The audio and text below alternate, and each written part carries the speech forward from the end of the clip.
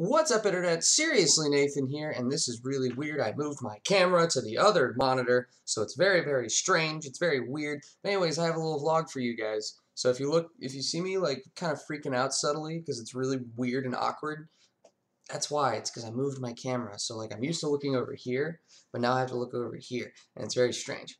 It may not stay this way, but at least for right now it is. Anyways, uh, the only thing I want to talk about this week uh, is that this week is what I'm going to call the week of no streams because I can't stream at all this week.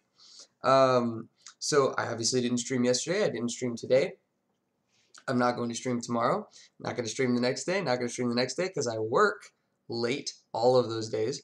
Uh, and I can't stream Tuesday, Wednesday, or thir- or Wednesday, Thursday, or Friday either because I'm not going to be in town. I'm going to be out of town. So, yeah, I'm not really doing any streams. Um, what I mean by not doing streams is that I'm not going to do a traditional stream. I may do some kind of like late night uh, game dev stream sometime this week, but um, as of right now, no traditional streams are planned, which is unfortunate. But I just wanted to let you guys know that because I think you deserve to know. So anyways, also, watermelon Pop-Tarts. Um, they taste very strange. Also, you see the watermelon Pop-Tarts. What you don't see are the Orange Crush. You saw the watermelon Pop-Tarts, but what you didn't see is the Orange Crush Pop-Tarts that I also have. Uh, I said I was going to get them, and I did get them. Uh, so, the thing is, the Orange Crush Pop-Tarts apparently only come in the 16 value packs, which kind of sucks because I didn't want to buy that many of them. But uh, sure, now I have a, like a bajillion Orange Crush Pop-Tarts, and if I hate them, that's four bucks down the drain. So, yeah, uh, as of right now, watermelon Pop-Tart.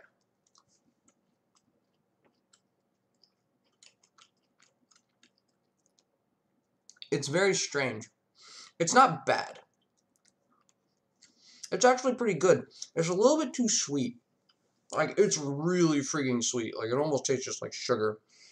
Um, yeah, it's very, very sweet. It tastes like fake watermelon, not like real watermelon, obviously. But, um, yeah.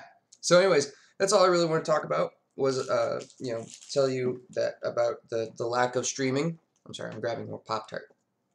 Tell you about the lack of streaming this week, as well as show you watermelon Pop Tarts. I'm not going to try the Orange Crush ones yet, but I'll tell you how they were when I do. However, what does does, what that does not mean is that I will still be doing vlogs. This is one of those times where the vlogs are going to be extra valuable to me because I can't stream. Uh, I'm going to be doing vlogs. In fact, I'm probably going to be doing a vlog from the place that I'm going. So you'll get to see where I was. It's, it's pretty exciting. So anyways,